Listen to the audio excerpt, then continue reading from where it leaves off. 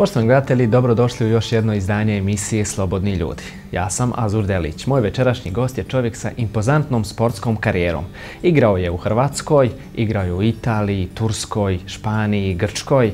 Ostavio je zaista namjerljiv trag u svim ovim, u svim ovim državama, a svoju karijeru je počeo u Slobodi a ponovo je tu kao trener omladinskog košarkaškog kluba Sloboda. Dobrodošlicu u našu emisiju ću poželjeti gospodinu Damiru Mulaomeroviću. Dobro nam došli.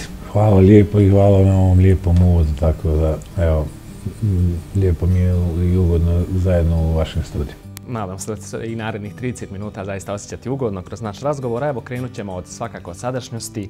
29. novembra ste predstavljeni kao novi, novi trener Slobode. Evo, prošao jedan izvjestan period. Istini za volju, Sloboda čini se nije postigla u ovom dijelu sezone ono što je bilo planirano prije početka sezone. Sada ste vi tu. Kako vam izgleda roster? Kako stvari trenutno staju? Pa dobro, došao sam u jednoj situaciji koja je nimalo bezazlena, Mislim da je, ja bih rekao, dosta teška, pogotovo u, ne znam koliko je bilo vezani poraza i na poziv predsjednika koji me zvao i, i sve ono što se dešavalo prije toga u što ja ne ulazim. E, došli smo do, do nekog zajedničkog dogovora i onda smo, naravno da ništa ne može preko noći, evo sad nakon neki mjesec dana možemo da sumiramo neke stvari koje su išle najbolje. Odradili smo Moram tu pohvaliti momke koji, koji treniraju jako dobro. Mislim da, da s te strane veliki dio zasluga ide njima jer stvarno treniraju i slušaju dobro. Bilo je tu promjena u rosteru, neki igrači došli, neki otišli, tako da, da sve je to rezultiralo nekim boljim igrama i, i nekim pobjedama koje su jako bitne. Prije svega je ova Sutjeska i recimo ova pobjeda zadnja protiv Proma gdje smo se podigli u, u gornji dio tablice, tako da s te strane, evo, ajmo reći da ne ide sve po planu i da, da se napravi neki korak naprijed. Evo, vi ste već spomenuli pobjedu proti Sutjeske, zaista više od 30 koševa razlike, ubjedljivo. Trenutno ste 11. u oba dva ligi. Kakve su vaše ambicije do kraja sezone?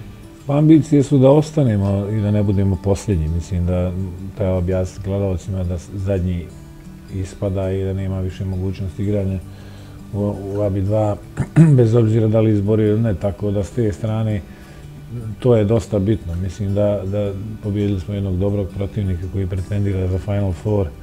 Sve to lijepo izgleda i, i onako super stribina kad se ovako dobro igra. Mislim da smo odigrali dobru utakmicu, timsku utakmicu, dosta dobro odrombeno.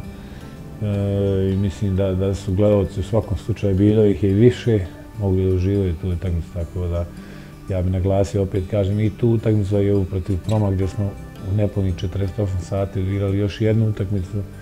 Oni su bili umorni, međutim, uz veliku motivaciju i sve ono što, što krasi pravi sportaši, mislim da smo naše snage i uz taj težak put koji je bio, odradili smo tešku utakmicu, pobijedili ista stvar, vrlo bitna u domaćem prvenstvu, tako da ajmo reći da, da sam ja stvari jako, jako zadovoljno. Jedan zgusnut e, zaista raspored očekuje vas i u narednom periodu. Evo u prvenstvu e, Bosne i Hercegovine Sloboda je trenutno na četvrtom mjestu. E, kako gledate na prvenstvo? Da li ćete se više fokusirati na to nego na Više ćemo se fokusirati. Nama je u svakom slučaju bitnije domaće prvenstvo i taj dio, jer se kroz taj dio i, i, i može jedino izboriti ova ABA druga, dva liga. Da li ćemo uspjeti, nećemo to, još je dosta utakmica. Međutim, sigurno da puno ovih momaka nije najutlan ritam srijeda, subota ili utorak, e, nedelja. Bez obzira na sve, mislim da su to jako, jako naporna putovanja, utakmice. Od, najviše od svega toga najnapornije su putovanja. Evo, to je nekako sadašnjost i ono što trenutno radite. Evo, svrnuli smo se, napravili smo jedan kratki presjek. Ali evo, sada ćemo reći ono sve što ste postigli tokom karijere, a krenut ćemo i dalje u ovom trenerskom dijelu. Bili ste vi selektori naše reprezentacije Bosne i Hercegovine, a poslije i selektor Kosova. Koliko je selektorska pozicija naše reprezentacije bila veliki zaista izazov u tom trenutku za vas? Pa meni je prije svega bila izrasta čast i zadovoljstvo da budem selektor države i zemlje koje sam rođen bilo mi je izuzetno zadovoljstvo dovesti reprezentaciju u Mejdan i, i, i Cvito Zlaci i sjajnu atmosferu koju su napravili proti jedne moćne Rusije gdje smo u jednom momentu vodili neki 17 razke sa e, Ostaće možda zapamći da sam ja selektirao tu dosta momaka, nekih mladih, 6-7 novih debitanata. Mislim da smo u toj jednom periodu ovaj, odradili. Imali smo dvije pobjede pred Švedske i dva poraza pred Rusije koja je apsolutno bila bolja. Mislim da u nekom e, košarkaškom žargonu bilo je bilo je možda i nerealno očekivati da se dobije tada, međutim ja sam vjerovao u to, nismo uspjeli, na kraju ja sam postupio i mislim da je to naj, naj, najrealnije i naj, onako sportski, najsportski što sam mogao napraviti. Bilo mi je, kažem, još jednom, izrazito čas za dvojstvo da vodim reprezentaciju, tako da, da s te strane ja danas reprezentacija ima sjajnog trenera, u svakom slučaju želim najbolje i mislim da cijela ta selekcija koju sam ja selektirao i Vedran koji je doselektirao, mislim da što se toga tiče budućnost Bosne i Hercegovine ne mora brinuti. Ima dosta dobrih mladih igrača od od Halilovića koji, koji igra sjajno u Francusku do Nurkića koji će biti sigurno jedan od lidera nosioca od Muse koji, koji je tu. Tako da već jedan, jedan neki generacijski novi val koji će biti jako, jako dobar u sljedećem periodu. Evo, vi ste spomenuli utakmicu u Mejdanu. Zaista vjerujem da naši gledatelji sećaju se te utakmice jedne nemile scene, a to je sukob, sukob kapitena i mladog Muse. Vi ste nakon te utakmice odlučili da ne pozovete Teletovića, koji je zaista tada bio jedan nesumnjiv, nesumnjiv autoritet zaista u ekipi. Stali ste nekako na stranu mladog igrača, što je, čini mi se, netipično u našim nekako reprezentacijama. Kako je to tada bilo kada posmate, evo sa jedne distance, prošle? Pa evo, mislim, distance, ja jednog i drugog igrača izrasto cijenim i volim i želim im stvarno sve najbolje. Nije niko udaljen zbog niti nego Mirza je bio na kraju sam otišao i tražio da ode. Ono što, što ja nisam dozvoljavao, nisam dopustio ta preskonferencija, nije to bilo zbog tog sukoba. Uglavnom je, žao mi je što se to na kraju desilo, mislim da nije trebalo dosta u tom sukobu i Musa na kraju kad se pogleda nije ni on trebao reagovati na taj način na koji je, ali se mislim da se to trebalo na kraju završiti, rešavati slećonci. Žao mi je što je to bacilo neku sjenu na sjajnu utakmicu, sjajnu atmosferu koja je bila u Medanu, tako da, ali opet kažem, evo, Mirza je predsjednik i, i jako dobro radi svoj posao. Bavi se sad poslom koji je puno odgovorniji nego što je igrački, međutim napravio dosta dobrih stvari. što se tiče toga, želim stvarno sve najbolje i njemu a naravno i Musa koji je jako mlad i koji bi trebao da bude jedan od nosivaca ove reprezentacije. Tako da, vjerovatno svako iz, iz e, svih tih stvari i situacije izvuče neke pouke i, i krene dalje i to je ono najvažnije i mislim da, da, da, da smo svi svi puno pametniji poslije toga. Tako to gledaju sportisti. Zaista, evo, po preuzimanju selektorske pozicije Kosova kazali ste da se zadovoljni učinjenim, ali da je tu bila svega medijsku hajku, ste tada spomenuli. To je zbog toga što niste igrali za reprezentaciju u Bosni i Hercegovini. Mislim da je ovo zaista dobra prilika i da naše gledatelje zanima da se vratimo i na taj period. Odlučili ste se igrati za reprezentaciju Hrvatske. Malo nam taj period približite vaše karijere. Vjerujem da je, da je nezgodna tema. Ovako da vam ja kažem jednu stvar, mislim da većina od vas, ti si vjerovatno ili vi se, ne, ne, ne budemo na ti vrlo mlađi, ali niko, niko nije spomenuo da sam ja bio najbolji kadet Bosne i Hercegovine, najbolji junior Bosne i Hercegovine, najbolji junior Jugoslavije to vrijeme pre prve tako da bilo je, bilo je stvarno čudno da, da se mene ne poziva u reprezentaciju, ja ne ulazim u to ko je bio, šta je bio, međutim ja taj poziv nisam nikad dobio. Vjerovatno da sam ga dobio igrao, međutim kažem, to sam ja već dosta puta naglasio, objasnio i mislim da, da nema potrebe više da, da objašnjam bilo kome. Znači, onaj dio što sam ja napravio što se tiče Hrvatske i Cibone i moje karijere tamo, bilo bi izrazito bezobrazno od mene da kažem, jer sam proveo sjajne godine u Ciboni, jedan najljepši dijelova moje, moje karijere, na kraju krajeva, ostatke od ovoga, prvo od sloboda, pa onda dalje taj dio poslije ratnih koji sam bio tamo, mislim da veći dio igračke karijere i ono sve što sam napravio krenuo odatle, tako da, a, mogu samo da zahvalim tim ljudima, prije svega Božim Ličević koji je tad bio moj drugi otac u to, to vrijeme gdje se brinuo o mene, jednom mladom momku koji je došao iz, iz ratnog vihora i nekog perioda koji je bio težak i za mene. Tako da, da s te strane mislim da, da ovaj dio pozivanja i nepozivanja, to su u to vrijeme bio uh,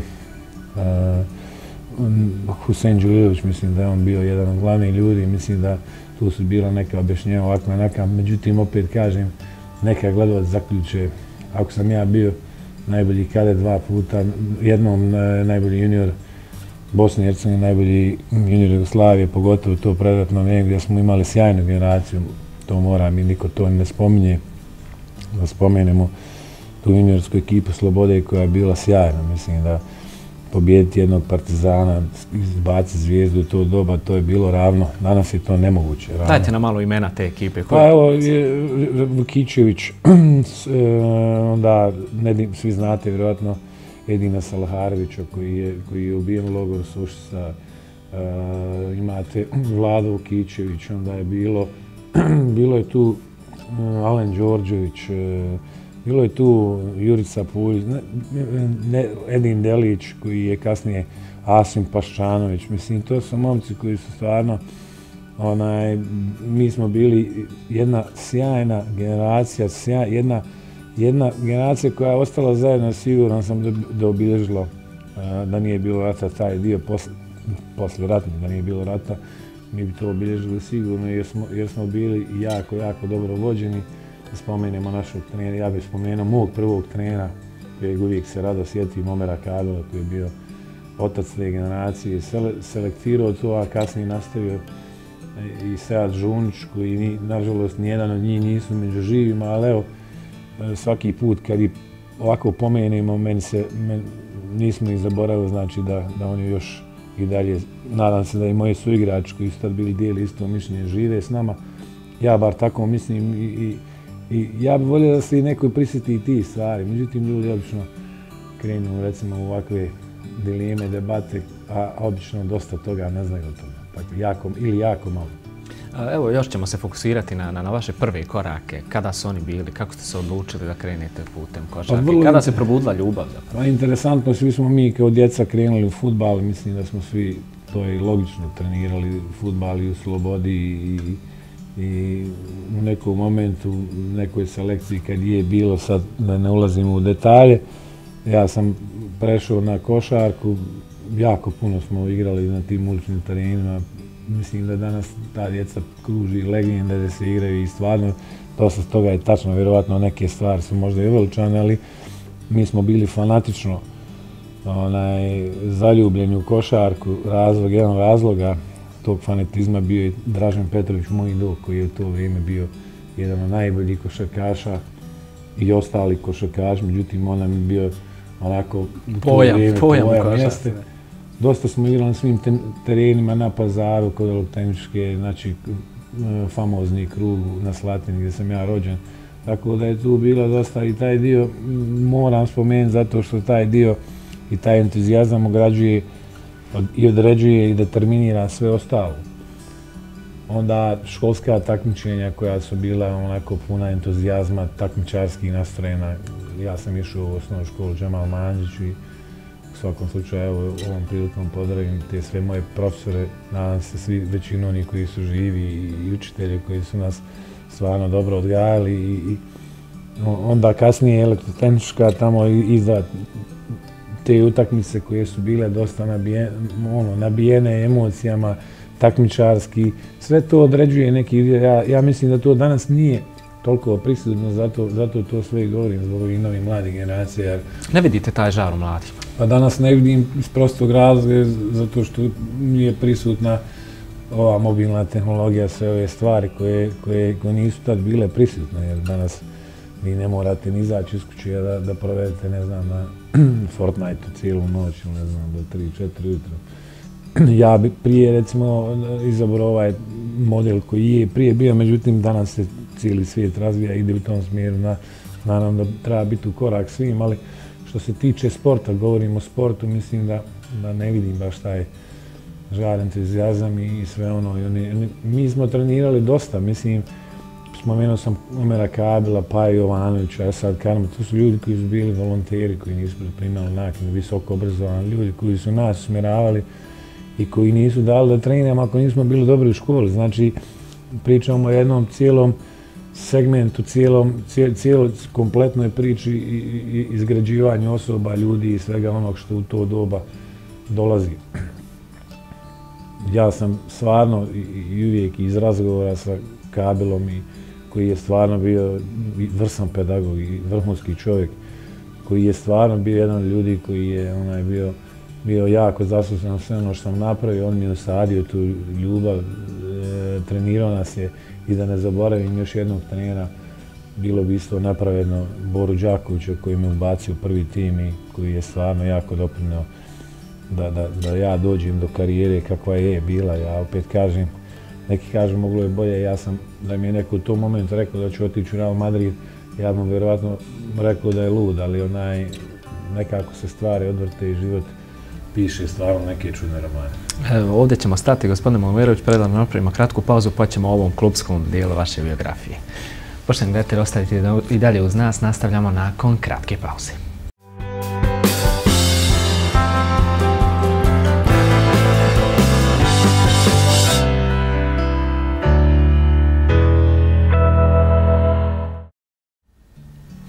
Poštovani gledatelji, nastavljamo mi naš večerašnji razgovor. Sa mnom u društvu je gospodin Damir Mulaomerović, bivši selektor reprezentacije Bosne i Hercegovine i trenutni šef stručnog štaba Omladinskog košarkaškog kluba Sloboda.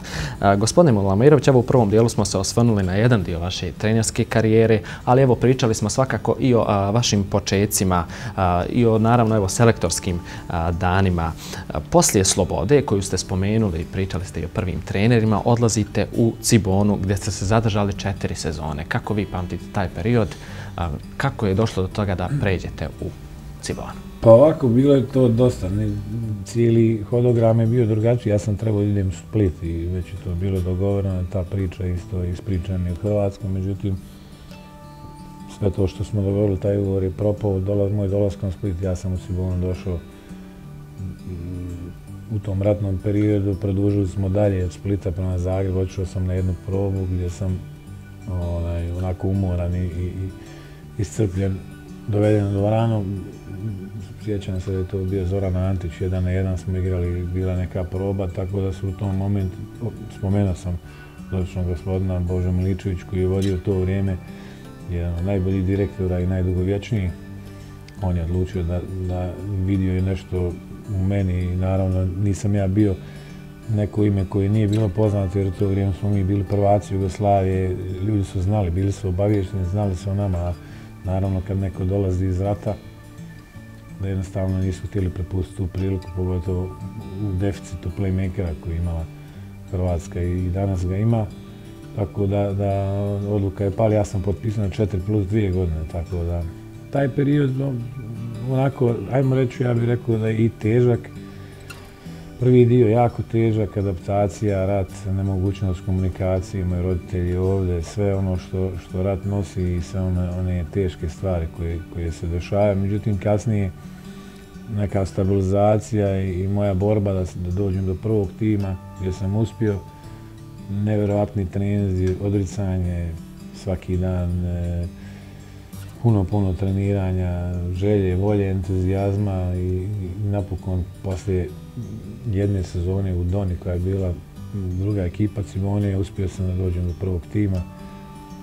Aco Petrović me obacio tu prvu godinu, onda Jasmin Repešo nastavio, naš bivši selektor, isto, isto to su dva, dva trenera koji su obilježili taj dio moje karijere, tako da e, nekako se odvijalo sve filmski, onda igranje Euroligije s jednom generacijom mladom, tako da mi smo bili stvarno jedna dobra generacija. I Rimac koji je danas trener, Alihođić Rimac, e, Veljko Mršić koji je selektor Hrvatske sad trenutno, tako da to je jedna generacija sjajnih momaka gdje smo mi baš baš obilježili taj dio i mislim da smo osvojili uzastopce tih svih šest prvenstava, tako da i četiri kupa.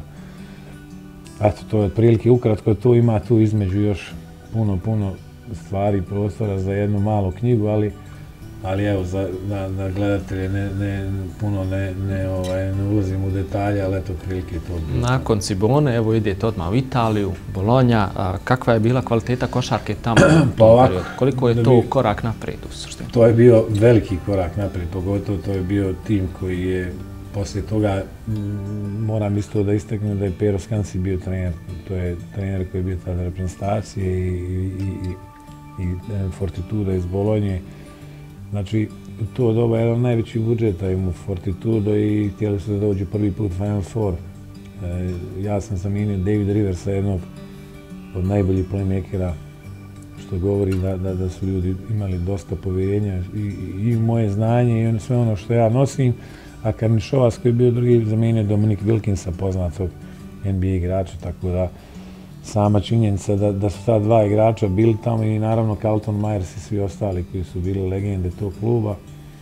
To je bio veliki korak. Ja jesam bio dva puta MVP Hrvatske i, i bio najbolji košarkaš proglašen sportski navesti i većin. Međutim, ovo je jedna druga dimenzija gdje vi dolazite u Italiju, gdje igrate puno jača liga, prvi put inostranstvo, već, veći izazov, veći pritisak, tako da sve, to, sve ono što nosi naravno je veći ugovor, ali sve to nosi ove stvari koje sam napomenuo prije. Tako da mi smo uspjeli da uđemo u Final Four, bila je nevjerovatna ovako proslava, fešta, navijači, vrhunski, znači imali smo puno dvorana, to je Bolonja se tad zvala grad košarke, evo, od prošle godine ponovo se vratila ova dva tima i Virtus i Fortitudo, to je jedan najveći derbi evo, koji se igrao u košarci, tako da sjajni ljudi, dosta novih prijatelja, Italija, ali opet kažem, e, jedan težak period, jedna teška ovaj, adaptacija na, na, na profesionalni život i na sve ono što profesionalizam nosi.